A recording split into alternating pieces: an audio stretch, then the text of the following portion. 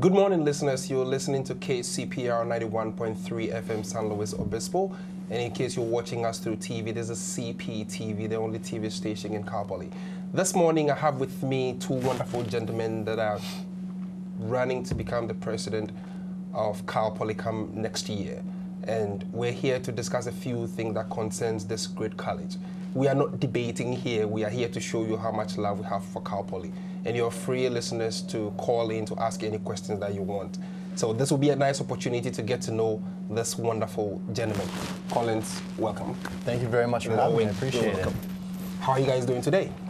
Doing Phenomenal. great. Great, great. And, and I might say thank you very much for um, taking time off your busy schedules to be here because I know running for president is not an easy job. I mean, it's not a president of the United States yet, but it's still in its own way, it's a huge thing to do. So um, I'm grateful um, that you guys made time to be here um, this morning. So tell me, where, where are you from?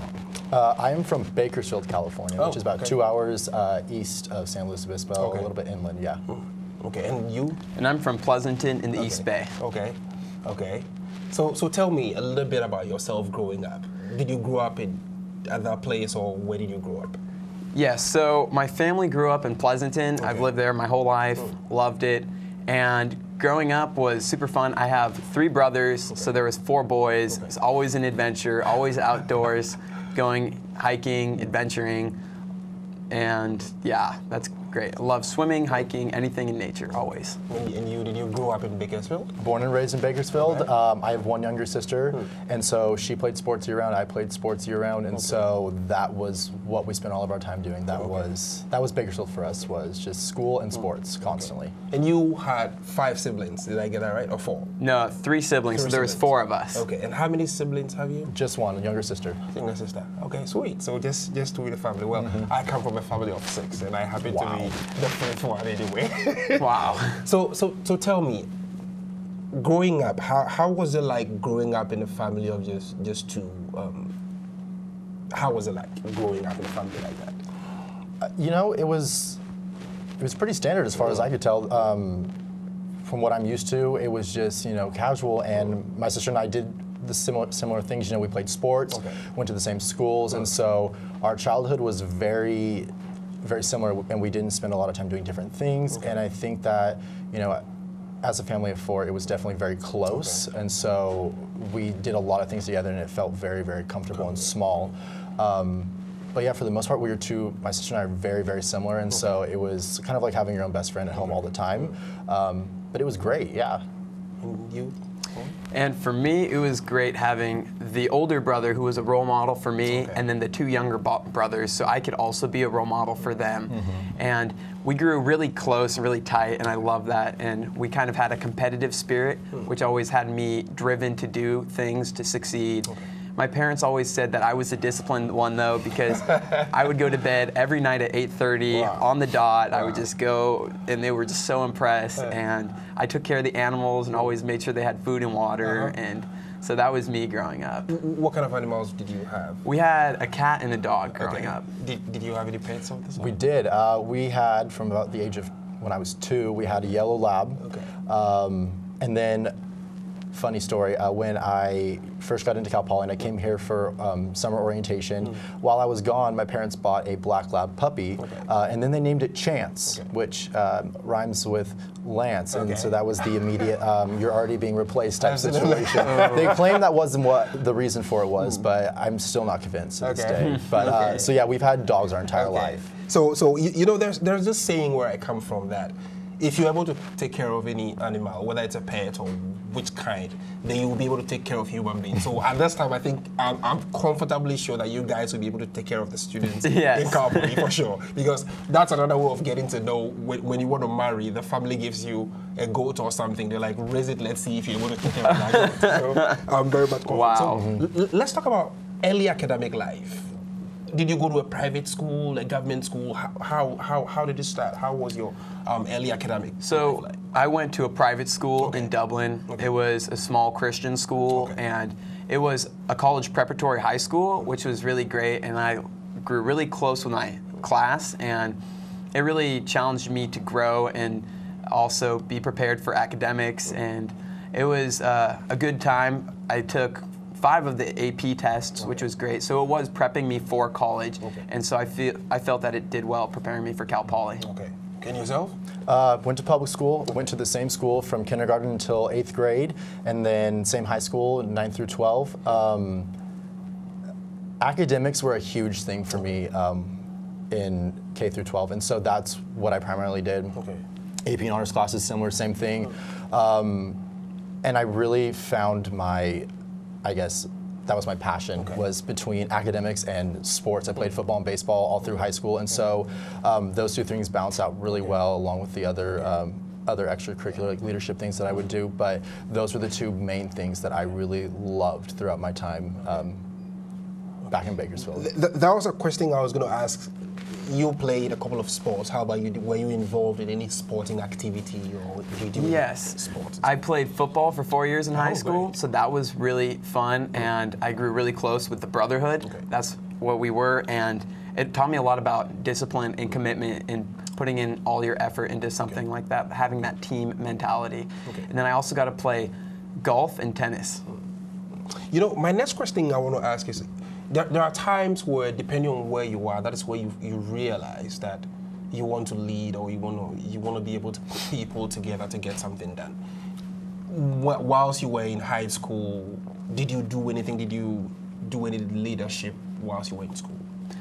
Yeah.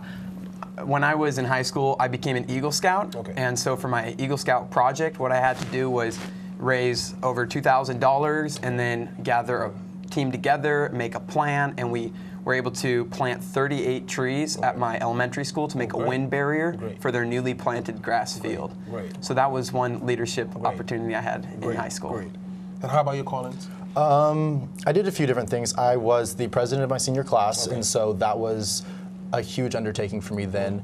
Um, I was a part of a few different leadership organizations. Uh, there was one that spanned the entire um, city of Bakersfield. There were uh, one to two students per high school, and Bakersfield has a lot of high schools, so there's about 17 high schools in total. So they chose one to two students from each high school, and we worked all year. Um, and one of our biggest projects at the end was to create a community service type of announcement that we did. We um, we went out, we picked a specific uh, community project that we worked with, and then did a basically an infomercial on them that would air on all the local news stations. So it was our way of uh, getting that out to them. And so there were a lot of different things that I did within leadership, but I would say that those were some of the biggest things that I did. You, you know, I'm, I'm seriously impressed with you guys' resume so far. I mean, you guys really have a good foundation, which I think it's it's very good. The position you are aspiring to to occupy.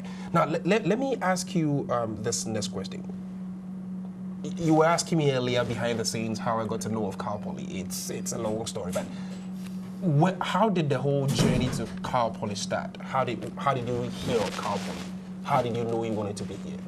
So I had two cousins who came to Cal Poly, Okay. and they both majored in ag business, which is what I'm currently majoring in, and they loved it here. And when I came my senior year to visit different colleges, I just fell in love with this campus. It was such a great school. The people here were fantastic. Absolutely. Everyone's super nice and kind, and I really felt like I could belong here. Yeah. And so that's why I chose Cal Poly because of the people, the environment. It just drew me in. Great, great. You, Lance? Um, it's an interesting story because I applied to Cal Poly because of its phenomenal engineering program because I'm a civil engineer. Okay. And I visited because similar to my uh, cousin was, an old, is a year older than me, and so she was here as a freshman when I was a senior in high school. And so I came to open house weekend, and I walked around with her, and I just I talked to her friends. I went to her classroom, and again, very similar to you, Owen. It wasn't necessarily just the academics; it was the atmosphere that Cal Poly had. Um, it was these people coming up to me saying, "Hey, Lance, how are you doing today? Like you're trying to decide where to go to college. How's that going? What senior year like? You know, how do you like this place? People who were genuinely interested in me, and I would turn to her and be like, Amanda, who are these people? And she's like, oh, like uh, friends. I had a class with them. Like, oh, whatever. And they honestly cared about me, and that was something that I took to heart then, and something that has just grown for me since then. Is that this community of people truly do care about you, and that's what I wanted to be a part of. I didn't want to be a part of a university just because of some academic program. I wanted to be a part of a university that I could connect with, you know, academically, socially, um, extracurricularly, whatever it is, and that's that's what happened that day. And so that's been the biggest thing that I tell people when, why did you choose Cal Poly? That's why. Okay, listeners, you're watching um, Time with Eric on Cal Poly Case, um, CPTV, and KCPR 91.3 FM. I have with me this wonderful gentleman, Lance and Collins, correct? No, it's it's Lance and Owen, correct? Okay, Yes. Okay, sorry, sorry, sorry about the mix-up.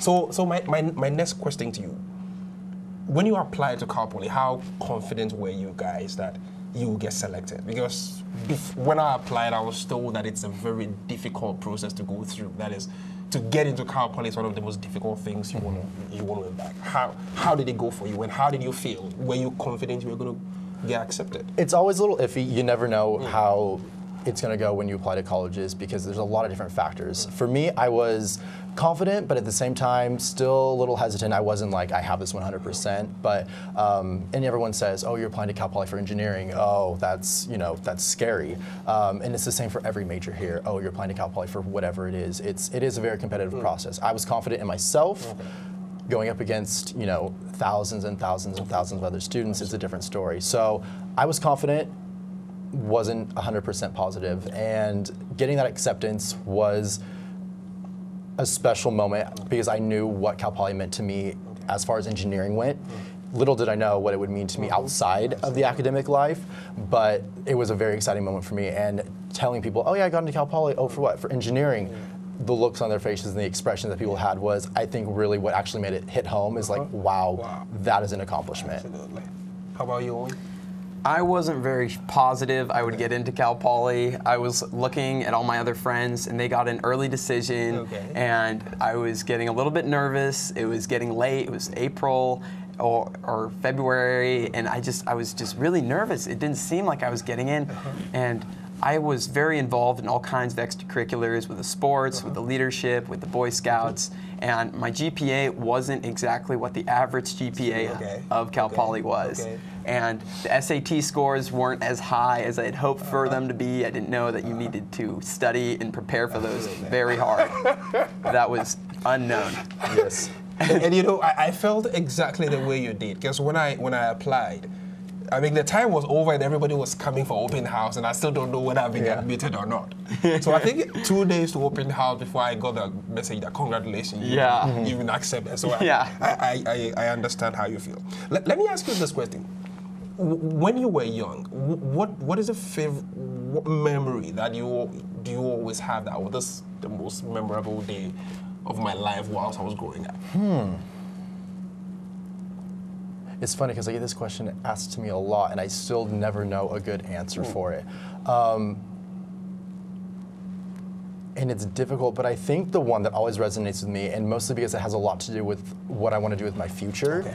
Um, but for me, the best memory that I have was actually towards the end of my senior year of high school, which there was a lot that happened, a lot of you know cool events that happened throughout my uh, life. But this one, um, I was a part of a program called We the People. It's basically where you do mock congressional hearings, um, and we went to the state competition, um, lost by 14 points out of 1,500, um, and got second. But I think my favorite memory was at the end of that competition watching all of us together and not just seeing what we had accomplished academically, not as far as the competition went, but how close we as a group had come, how much our coach and our team had meant to one another.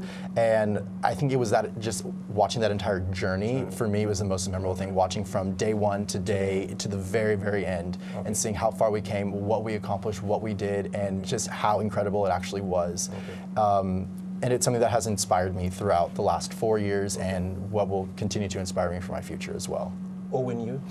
My Omi and Opa came from Germany Okay. after World War II, and so okay. we have this really rich German heritage. Okay. And so I have to explain that before I say my story. Hmm. When I was three years old, Mm-hmm. my earliest memory was of uh, my family in the Swiss Alps. We were hiking, and it was beautiful. There's just You know, green. ho- hold it there. I'll, I'll come back to you on that. I want to take a quick commercial break and then I'll come back to you. Ladies and gentlemen, this is KCP TV, CPTV, and KCPR 91.3 FM. We'll be running for a quick commercial. We'll be right back. Get your ass out. You're not in here. Yes, I am.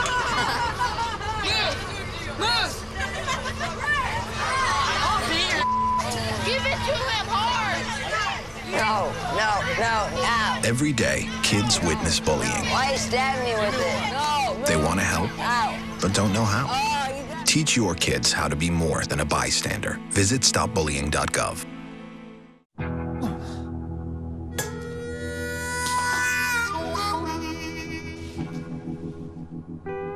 Get caught buzz driving, and you could do some hard time.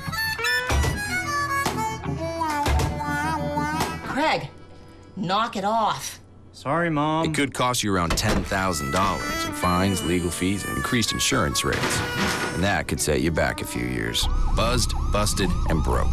Because buzz driving is drunk driving.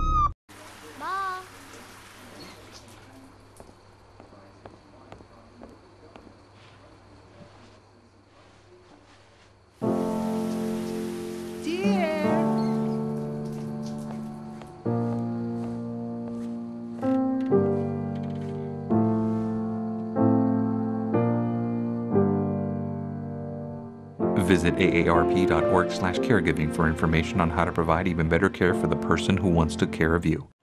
Did you know kids who play outdoors have healthier lungs? Totally. Did you know that boys that play with dolls make better husbands? My son has lots of dolls. But did you know terry cloth diapers breathe better? I did. mhm. It's totally true. Oh, yeah, yeah. Did you guys know statistically friendly kids have more friends? Yeah. That's obvious. Did you know most people think they're using the right car seat for their kid, but they're not? Parents who really know it all know for sure that their child is in the right seat. Visit safercar.gov slash the right seat to make sure your child is protected. Welcome back, listeners. You're listening to us live on KCPR 91.3 FM. And if you're watching us from the house, this is CPTV, the only radio station in Cal Poly. I have with me this morning um, Collins and Owen to um, discuss a few things with regards to the very big journey of becoming the next president of Cal Poly.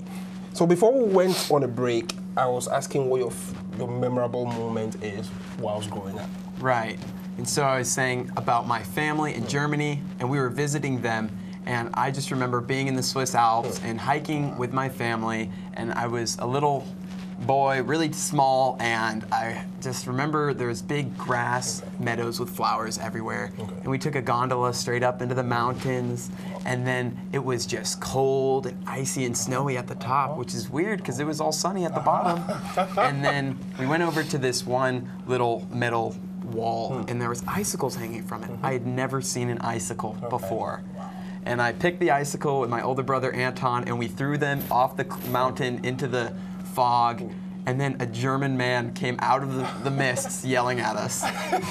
and being yelled at in German as a small child was very frightening. That's an interesting story. So now let me let me let me bring my next question, which is going to be your early days in, in How, how was your early days in Cal like? Being a freshman, were you more of the let's go downtown person, or you were more of well, let's let's study? Which were you?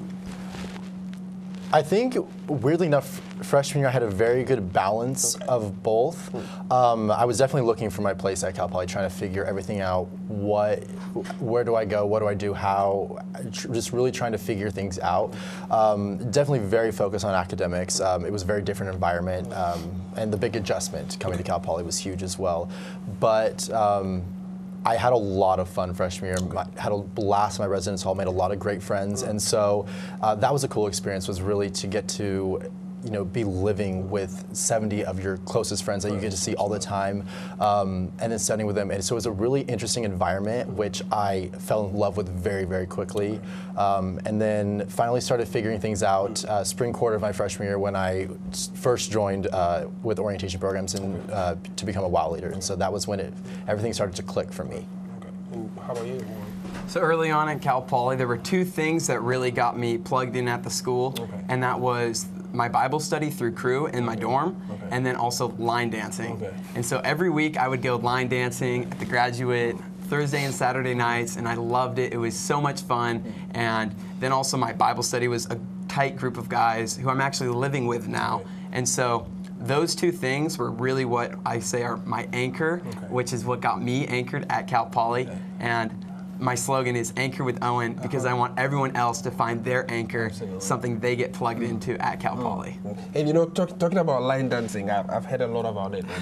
I gave it a try. I mean, come see. I mean, I, I, I was the only black boy you know, jumping. left, right, but it, it was it was interesting.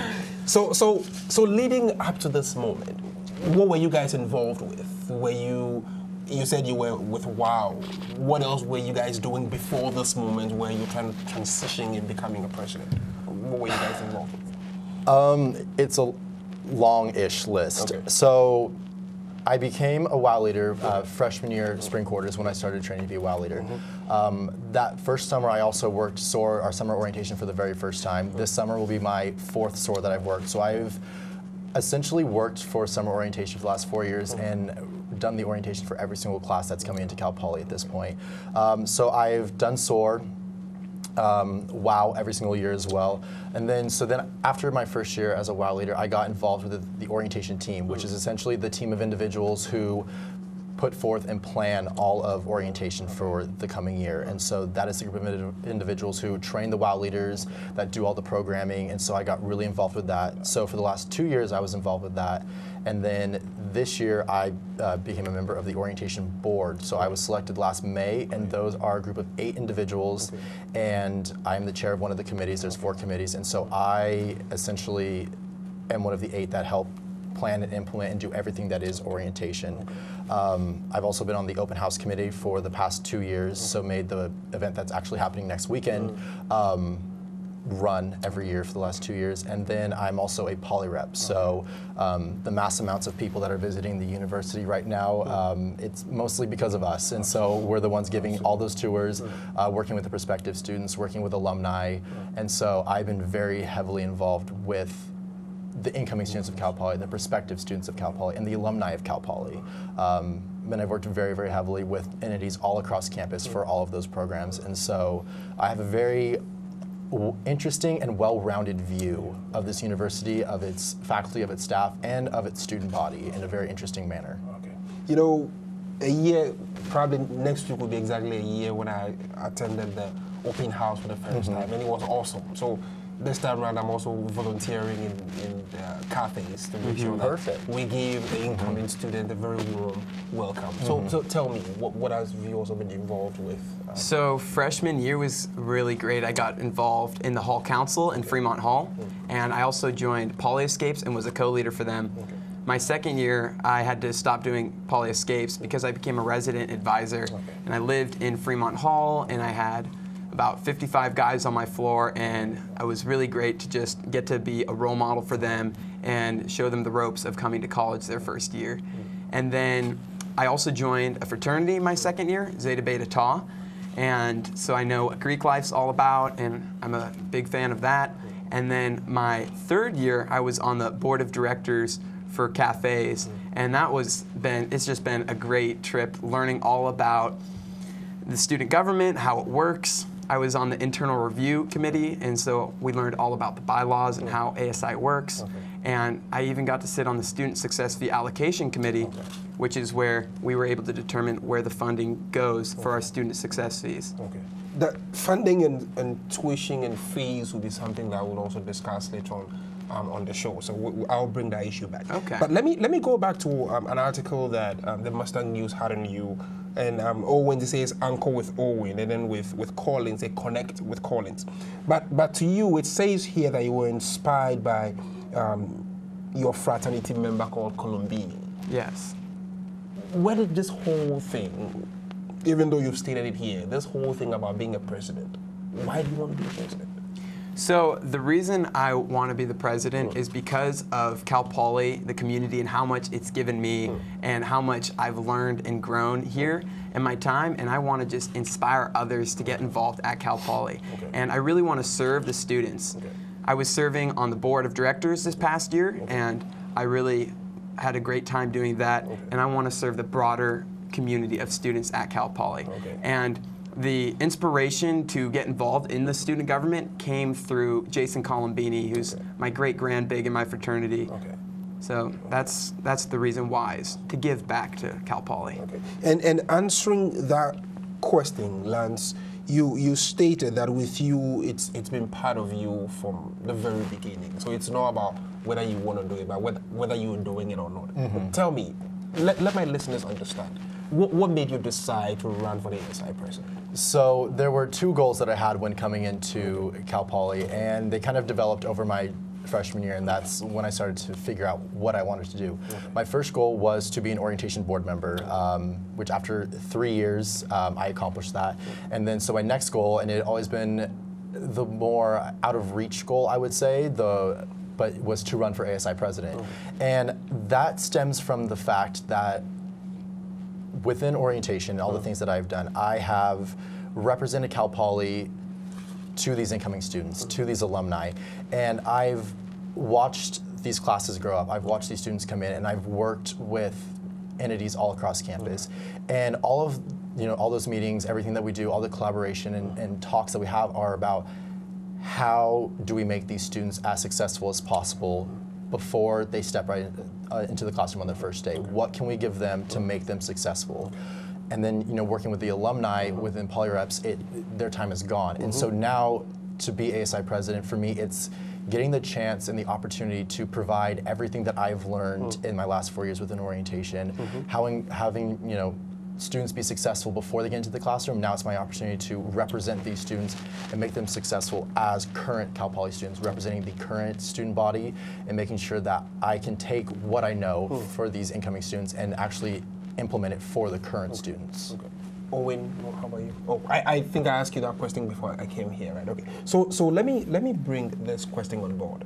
Besides these things that you guys have enumerated, there there are times where you realize that besides the fact that you want to say, besides the fact that you you want to inspire people, there are things that when you go to bed, they kind of bring on your mind that if I become a president, the specific things I'll get them done. Is there anything that keeps you awake at night to say that look, if I become the president, this is what I want to do? There, definitely, and the, there's conversations that I've had about all of that. But I think the one thing that keeps me up at night, um, and it goes back to connecting with Collins. It's about making those connections throughout campus. It's about you find students who find their home within an organization, within their major, within you know Greek life or whatever it is. But having students find the connection to the rest of campus, having you know feeling supported by more than just you know your club or whatever you're involved in, but feeling like that club that you're a part of is supported by the rest of the university. Um, what I've noticed over the years is that so many departments, so many organizations, so many groups of students on campus have the same goals. They have the same vision for what they want Cal Poly to be, what they want to get out of this experience, and what they want to do. And having those groups work together, I think, is what I would really like to see change. Is what the reason why I'm running for president is so that I can start helping that trend occur. Um, and it goes back to what I say, it's about Cal Poly students working for Cal Poly students. It's about creating, you know, an environment where Greek life feels supported by orientation programs. ASI student government feels supported by housing, whatever those combinations are. It's really about all of us working together for that common goal for the university and supporting each other's goals and objectives and opinions as well. How, how about you? Any, any specific issue that keeps you up at night? So I'd say for me, it's really encouraging other students to find that anchor, to find something at Cal Poly that keeps them grounded. And that really could be a club, it could be a fraternity or a sorority, it could be an event or work. I just want every student to feel welcomed and involved at Cal Poly. Hmm. And that's kind of the thing that's really driving me to run is so that everyone has that opportunity. And then the other things that I'm really passionate about are student fees, which I was talking about earlier, and then student safety and school spirit. Okay, let me let me ask you this thing that you just mentioned. I would, I would let me let me let me start with with with Collins. You have great ideas. You you wish to change, but there are times where you have plans, but you don't have the people you need to make sure that it's implemented. How are you going to work with? Um, how are you going to handle a situation where you realize that this is where you want to go, and yet your board of directors or those that need to give you that support are not su- supporting you the way you want it? How are you going to achieve all those things? Um, well, the first thing that I have been thinking about and considering doing is the way that the executive cabinet is run, actually having those individuals as liaisons between all these different departments on campus, delivering our message to them, um, bringing that department's message back to us and really having that streamline of communication between all these different departments. So working one directly with the people that I will be working with and actually utilizing them all throughout campus, kind of like a web, if you will, really just expanding throughout the university. Um, I think too. Um, so I'm big into StrengthsQuest. That is that is my thing, and my number one strength is winning others over. And the way that I really like to utilize that is to actually working with other individuals, and that's a, you know something we also run into um, as an orientation board member, working with all these individuals. It's working with others, having these different goals. Well, this group has this goal, this group has this goal. How do we make all those come together? And accomplish all of those while still being there for the students. And so that's the biggest thing that I've learned over this last year is really how do you take three, four, five separate goals, bring them together, and really work together to accomplish that.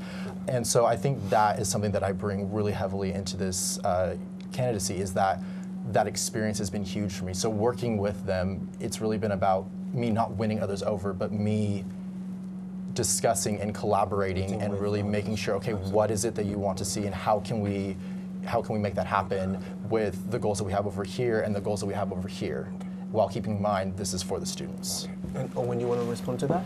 And I'd say that while working on the board of directors this year, hmm. I've established a lot of relationships hmm. with people currently on the student government. And I've worked with the president, and hmm. so I know what the duties entail. And one of the things I'd like to see is on my executive cabinet, I'd like to choose members who are passionate about certain things like okay. student fees, student safety, and school spirit. And that way we can use the executive cabinet to create great events and programs. This past year, the executive cabinet put on a Spirit Week, which was a huge event, and that was wonderful. And then as we move forward into next year, if the current members on student government are reelected, I have those relationships currently, so it'll be much easier to work on certain things with them and get the board to be on the same page as me or something like that. And the last one was about.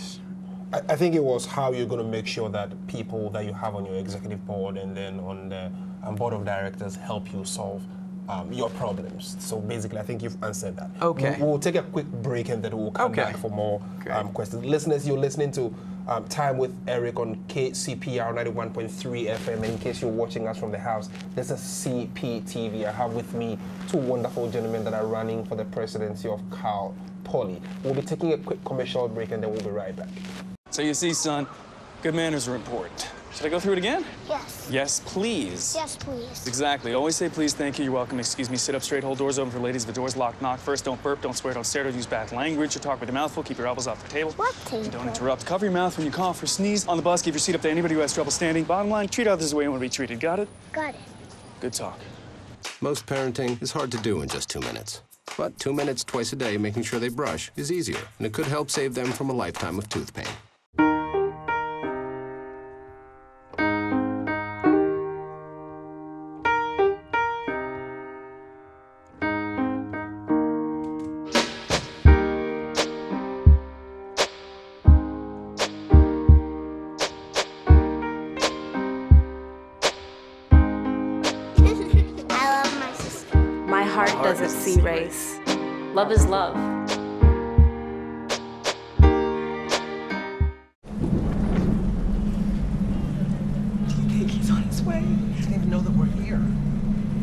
Okay? Please tell me he's okay. Laura. Okay, try to call him again. There's no signal. Try. Nothing's working. Well, just Everything's try. down. This is so bad. I just, he's out there by himself. Make sure you know where to find your family in an emergency. Start your plan at ready.gov. So good to see you guys. So, what's up? Oh, we finally bought a place. Holy cow. You seriously have enough saved to do that? We've been putting a little aside each month. Jeez, at the end of the month, we have nothing left to save. Yeah, I have no idea where it goes. Well, you're mm -hmm. spending a lot on is it good? Oh, God. Oh, how is my account overdrawn? When it comes to financial stability, don't get left behind. Get tools and tips for saving at feedthepig.org. Welcome back, listeners. You're watching CPTV, and if you listen to us through the radio, this is KCPR 91.3 FM. This is Time with Eric. I have with me in the studio Collins and Owen. They're currently aspiring to become the next president of Cal Poly. So, welcome back, gentlemen. Why should my listeners, or why should st- students watching us vote for you? The why of they why they should vote for me, I'd say it comes down to my character as an individual, and I have three traits that, that really define who I am, and that's I'm honest, committed, and proactive. How about you? I think for me, the reason why the students of Cal Poly should vote for me, I think is because of my dedication to student success. The last four years of my college experience have been dedicated specifically to making sure the students here are successful and the opportunity to bring that into a position where I have the ability to impact every single current student and how successful they can be and what I can bring to them individually, um, I think is something that I personally feel is huge, and I think that is a reason why students should vote for me. It's them helping themselves. Okay, okay. And and let me let me bring it to you because he, he answered the first question. But if I if I would push you specifically to the wall, what is your agenda? What are your goals? What do you hope to achieve when you become a president? Like I said, my biggest thing is making sure, again, connecting with Collins, connecting with the campus, connecting with the community. Um, students inevitably are going to find a place on campus that they love, They're- whether it's you know within their major, with, a, mm. with it's you know in a club, an organization, whatever it is. But it's really about bringing them to that to a new level. It's about finding support from the university and then making sure that they're successful from beyond that. What can you know?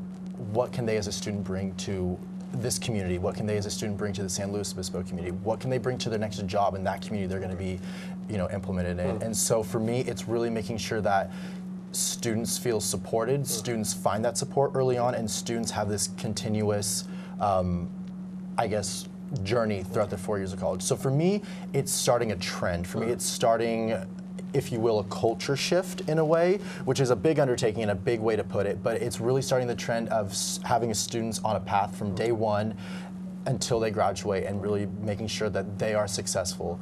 Um, it's implementing programs uh, with different departments to show that here's you know a different way that you can be successful. Here's how you can utilize this, and it's working with those departments to put that on. Um, you, a lot of the times you get departments that want to do something you know big, but how do they get out there to the students? How do they reach the mass amount of students? And so for me, it's about working with different departments to bring all of that to these students.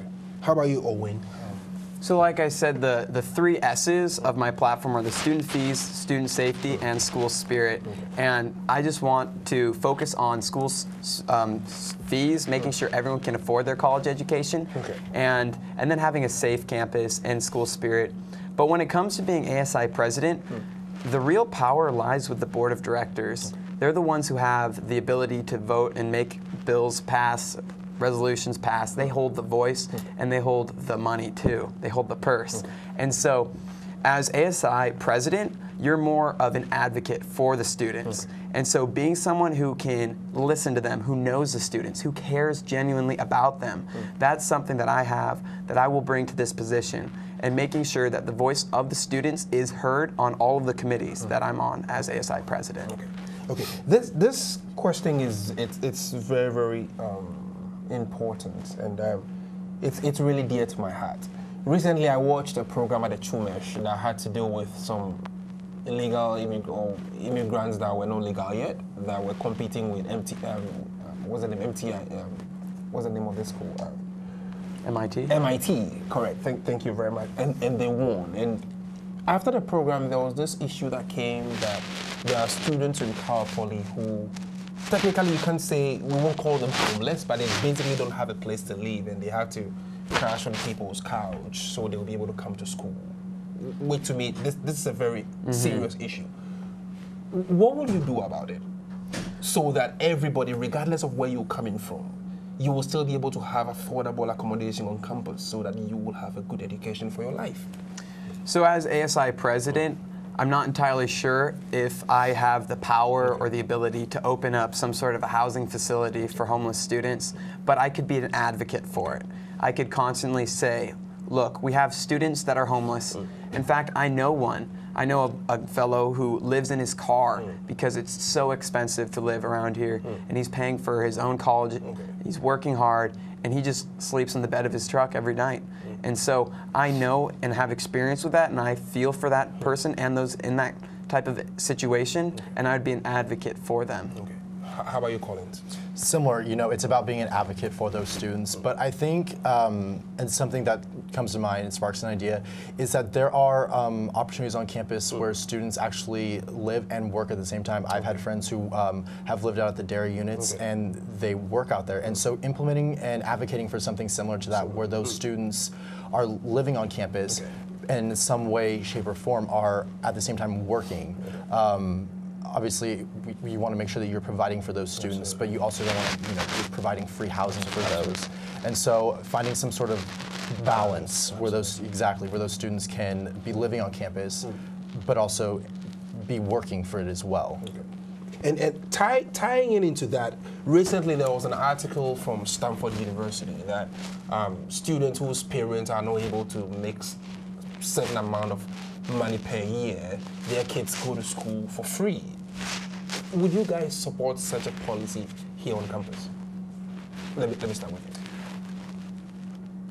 It's an interesting concept. It really is, and there are similar things that we have. Because so, sorry to cut you in, because most often you realize that there are people who are smart, brilliant, and yet their parents cannot afford for them to go to school that they think or they wish to go. So sorry, sorry to cut you in. So. No, it's fine. Respond to that. Um, and I think it's an interesting concept, and we're working towards something similar to that. We have something, I wouldn't say to that degree, but the Educational Opportunity Program is something, EOP, where those students are getting fee reductions for certain things and providing for those students that can. For instance, within you know orientation, the Equal Opportunity um, Program students um, are getting fee reductions because that's just what their funding goes towards. And so working for, um, advocating for funding for that program and other programs that can provide for those students um, who financially can't support themselves.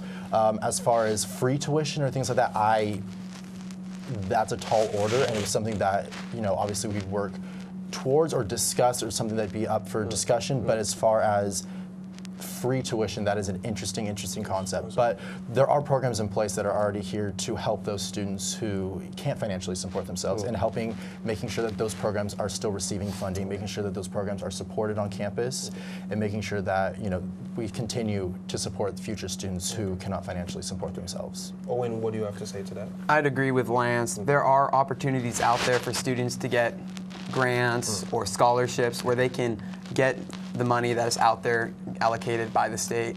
But one of the things that has happened in recent years is that the state government has been reducing the amount of money sent to higher education. And so that's one of the reasons why tuition keeps going up and it becomes more and more unaffordable. Hmm. Last quarter, I got to go to Sacramento with the student government, and we got to meet with senator and assemblyman, and we sat down and talked to them and asked for more state funding for the CSU. And with initiatives like that, we can really establish relationships with people in Sacramento, the ones who are voting on where the budget is going, and hopefully we'd be able to get more funding to our school so that tuition is more affordable. Great, great. I mean, that, that's that's excellent. You guys, um, I think you guys, I mean, handled it perfectly. I'm, I'm, I'm grateful that you guys want to do something about it, and you've really made my listeners know that there are still opportunities for you to uh, be able to take care of yourself while you're here. Now, let's let's tackle another very important issue on campus. Um, last quarter and this quarter, there were a lot of issues about sexual assault on campus and going to frat parties and some people getting assaulted and stuff. Mhm. What, what would you do about such a thing? I mean, you you are a frat member, right? Yes. And again, you wouldn't want your frat to be shut down. What, what what plans do you have with regards to sexual assault, making sure that everybody is safe, regardless of where you have Yeah. with friends? So within our fraternity, hmm. we have a motto. It's called synonymous with a gentleman. And we teach each of our members to be gentlemen, to treat ladies with respect, to treat every human being with respect. And so we started internally to make sure that we focused on that. And that type of behavior is not allowed, that is not acceptable at all in our fraternity. And then this past week, we actually had It's On Us Week, which was a cross campus collaborative effort hmm. To promote sexual assault awareness. Mm-hmm. And I had some dear friends on the board of directors who really tackled this, and they came together and we got interfraternity council involved, Panhellenic involved, mm-hmm. club sports, Safer, and ASI. And so if we all work together mm-hmm. towards issues like this, we were able to help promote it, and we had over 600 people take the pledge to end sexual assault on our campus. Hmm. That's something I'd like to see continued into next year, and I think that it's going to take collaborative efforts like that to really address the issue and change the culture hmm. around sexual assault so that we are responsible for each other. Okay. How about you, Collins? So one of the biggest things that we do within orientation is transitional programming, awareness topics, and sexual assault is one of the biggest ones that we do other than drug and alcohol abuse. And so we spend, um, during SOAR or summer orientation, we spend a portion of that discussing uh, sexual assault um, and all of those transition and awareness topics during there. But during the week of welcome is when it's really big. And so these students have massive presentations on sexual assault, bystander intervention, and it's extensive education that we do with our incoming students and with our leaders. And so again, going back to, you know, what I want to do as president is continuing not just from day one, but being able to continue all of these things throughout their four years. For me, education is the biggest thing, and we have, you know, the audience of every single incoming student, those 5,000 or so incoming students. But then after that, we don't have that ability to sit them all down again and continue to educate them. And so for me, it would really be continuing that education. All right, well, you had your introduction to you know sexual assault awareness during WOW.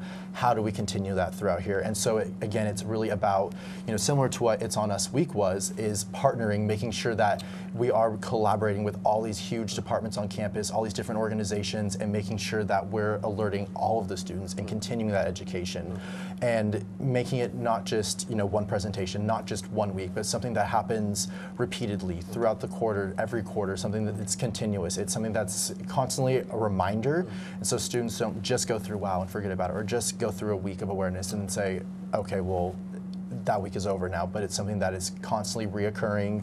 Um, and for me, it's just about being persistent. Okay. Okay. Great. Listeners, you're listening to us live on KCPR 91.3 FM. And in case you're watching us on TV, this is CPTV.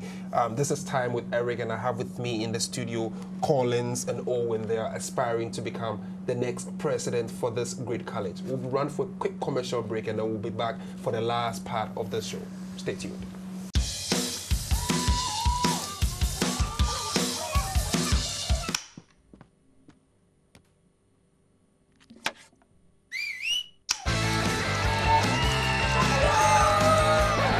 Let E. coli mosh with your food.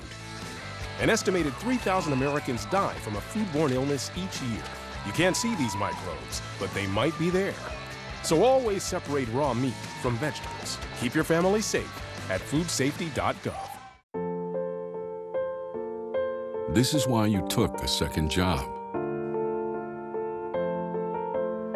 While you taught yourself how to fix the plumbing. While you'll do whatever it takes to keep your home. And that is why we want to help. We are making home affordable, a free government resource that can make paying the mortgage easier. Call 888 995 HOPE today. Welcome back, listeners. This is Time with Eric on KCPR at 1.3 FM. And in case you're watching us, this is CPTV. And with me are this wonderful gentleman that very soon, in a couple of weeks, we'll see who gets the nod to lead this college for the next one year. We've been discussing very important issues, and at this time, want to tackle a very important issue that has to do with diversity on campus. Owen, the black population on campus is 0. Uh, 0.7%. And I think we, I'm not too sure about the Hispanics, but minorities in general Mhm. are just a handful in a school of about 24,000 students. How would you get the school to, to embrace different people, to make sure that we are more diversified than we are today? So I love the idea of having a more diversified campus. That's wonderful. Just adding diversity is a wonderful thing that could happen here at Cal Poly. And I really think that students th- through the programs that reach out and they have students come and tour all the time. We've been doing that, and that's a wonderful opportunity for new students, prospective students, to see what Cal Poly has to offer. Hmm. And I'd think that as ASI president, hmm. I would sit in on a lot of committees and make sure that I would be an advocate for increasing diversity at hmm. Cal Poly. How about you, Collins? Um, so something that we within Polyreps do is hmm. called Storm, and it's where we as a group of individuals will go to an area, whether it's the Bay Area, whether it's San Diego, hmm. LA, whatever it is, and we visit about 15 or so different high schools all on Fridays. So we break up into groups and we go present as Polyreps to these different high schools. And so generally, um, that is one of the way that we reach out. But something else that we do that's not very widely known is hmm. called Hometown Heroes, and it's where we actually open that up same concept up to any Cal Poly student at all. We host meetings where they can come. We give them the presentation to give, and they would go home, whether it's Thanksgiving break, spring break, whatever it is, and actually go present to their high school that they graduated mm. from. And so, for those students who do come from those more diverse areas, being able to really expand that program mm. and going out to those university or those high schools and talking about Cal Poly and mm-hmm. saying this is why you should come here, especially to those extremely diverse areas of mm. California and the rest of the country. That's one of the ways that I'm looking to really increase that diversity is really about increasing the number of students who know about Cal Poly and that will apply to Cal Poly and then bringing light to all of that diversity that we have on campus. And not just skin deep but as far as you know where you come from your background your experience that you had diversity is so deep um, really highlighting that. And that's something that we love to do within orientation is we you know we have presentations on respect and diversity. We work with the cross-cultural centers to make sure that we're bringing that diversity that we have here on campus to light. Um, but again working heavily with them and getting the message out to the students about being a hometown hero and really going to your high school and saying look at what Cal Poly has done for me here's what it can do for you and encouraging those students um, to help make our school more diverse as well all, all, the, all the things you guys have mentioned are, are perfect. But there's another problem I see on campus that you see people coming in to tour and like, okay, this is where I want to come. And then they come and then the environment is not too friendly and then they leave. How, how do we tackle that so that when you're able to go on this wonderful programs you mentioned and then you have people coming in here, we will be able to, to sustain the mm-hmm. few that have come to Cal Poly? How, how do we address that, gentlemen? So the campus climate survey, which came out last year, mm. student government did this huge survey, mm. and around 80% or so of students felt comfortable on campus, which means that 20% don't feel comfortable. And that's really sad. Mm. And it is those new students that don't find that community, that don't find that anchor at Cal Poly, that really drift away and that don't feel connected to the school and just end up dropping out or transferring and not getting connected. And so some of the things that Cal Poly has to offer are the clubs. I'm a member of a lot of clubs and a fraternity and other organizations on campus, and helping those students to find those areas is extremely important. For example, there's one girl I just met. Hmm. She's Assyrian, and she doesn't know any other Assyrians at Cal Poly. And I was, I told her, well, we can make a club for Assyrians at Cal Poly. Let me show you how to do it. And we're starting this thing out. We're trying to find other Assyrians at Cal Poly. Hmm. So if you know of any, please contact me. Let me know. And we're trying to get her a club, a place where she can find an anchor and be safe, uh, have her community here. L- listeners, in case you're watching and you're a Syrian or you're from the Arabian country, you could please contact me on ejourney at calpoly.edu. We really want to make sure that every student in here feels at home. Thank, thank you very much. So let me, what do you, oh, sorry, I didn't give you the opportunity to respond to that. I'm sorry. repeat the question one more time So so my, I get my, all of it my question is that we do all this thing to make sure that we get other minorities to join here. But when they come, the environment is not too friendly, and then they leave. Personally, I've had my own issues with, with people looking at you as if they've not even seen your skin mm-hmm. before. You know what I'm mm-hmm. saying? And I will be tough enough to stay here, regardless of how people look at me. But not everybody mm-hmm. has that kind of heart and the ability to stand that. So my point is, how do we make sure that if you bring 20 students in who are from a minority group, they want to stay to graduate and not say that no, this is not friendly enough, so I'm leaving. How do we do that? And so uh, that goes back again to the idea of connecting with your campus, connecting to something greater than just the organization that you're a part of. Um, something that I've noticed is that a lot of the times you find a home at Cal Poly within a group of individuals, with a group of students. Um, and there are a handful of times that you feel totally 100% connected and a part of the, the Cal Poly community as a Mhm. whole. Um, during the WOW, the UCSB men's soccer game, other handfuls of events where it's you really feel like the Cal Poly community has come together as a whole, and you feel so strongly a part of that. Um, and I think that bringing that as something that happens to you every single day, and it goes back to that we teach our leaders within orientation that you know, during this time and as a leader, it is your job to help people who look lost on campus, being a friendly face, and inspiring that not just to happen during the week of welcome, not just happening during SOAR, not just happening during open house or these events, but having that be a daily thing that you do and having that approach that these people that you're connected with here on campus are they're colleagues of yours. They they're part of the same community. So one being a part of a group of and an organization where you feel comfortable and you're friendly there, but creating this. So, sorry to cut you in. Our, our time is almost gone. Perfect. So, um, I just want to ask you guys a quick question, just yes or no. What do you guys think about the new UU? The plan to build a new university union for, for campus. What do you think? Just, just, just briefly, just briefly. So the students, it's up to them to decide if they want it or not. April 28th is when the survey goes out, and then the answers will come back in. And if they say yes, we're going to go forward. If not, we're not. How about you? I, as a student, am extremely excited for that, mm-hmm. mostly because my department's office has been removed from the mm-hmm. UU and put into Building 52.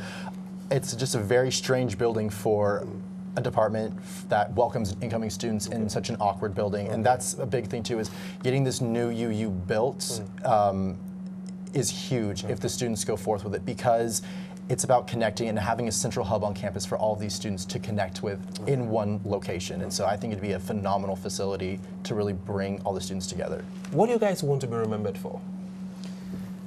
In, in years to come, you'll sit at a dinner table with your son, with your daughters, with your wife, and what do you want Cal Poly members, people that will come in years whilst you're gone, what do you want them to remember you guys for? I'd want them to remember me for being someone who genuinely cared about them and their interests and that really served them well and loved them entirely. How about you, Collins? Quick anecdote. Uh, so, two hours ago, I was working at the open house booth, and this um, freshman came up to me and she said, "I recognize you. Were you at open house last year?" And I said, "Yes, I was on the committee, and I, you know, I helped plan it." And she goes, "The event that you planned was the reason I decided to come to Cal Poly, and the reason that I feel at home, and where I met my roommate." And that moment is something that will stick with me forever. It's mm. that I even if it was one person, made someone feel at home at this campus the same way I did. And so 20, 30, 40 years down the road, if people remember me as that's the man who made Cal Poly my home and made me feel comfortable, that's all I ask. If you win and he loses, would you have him on your team? After getting to know him through this interview, I see that he has a lot of similar ideas to me, and I think that we both love Cal Poly a lot, and we could work well together. How about you, Colin? I agree 100%. Perfect. Good. So tell me, are you are you single, dating? Because my listeners want to know that. Are you single, dating, searching, or looking? Where do you lie? Um, I, I am dating someone, yes. Oh, sweet. Yes. Sweet. You, you want to share who that person? I mean, feel free if you don't want to. That's fine. But you know, we know you are engaged. You you you you're not available on the market, so that's that, that's right. But if you want to share who that person is, it's my show. Welcome. Yeah, of course. Um, his name is Brady Hibb. Oh, um, he makes the joke that I'm married to my job, sweet. but um, no, we've been dating for about a little over six months now. Sweet. Yeah. Sweet, sweet. How about you, Owen? I'm dating a wonderful woman named Camille Lethko. Sweet. She is wonderful. She motivates me, encourages me, and she's just a wonderful person to be with because she's so happy and full of joy, and she's just lights up the world wherever she goes. So one more opportunity I want to give you guys, one minute each. Look into the cameras and tell my listeners why they should vote for you.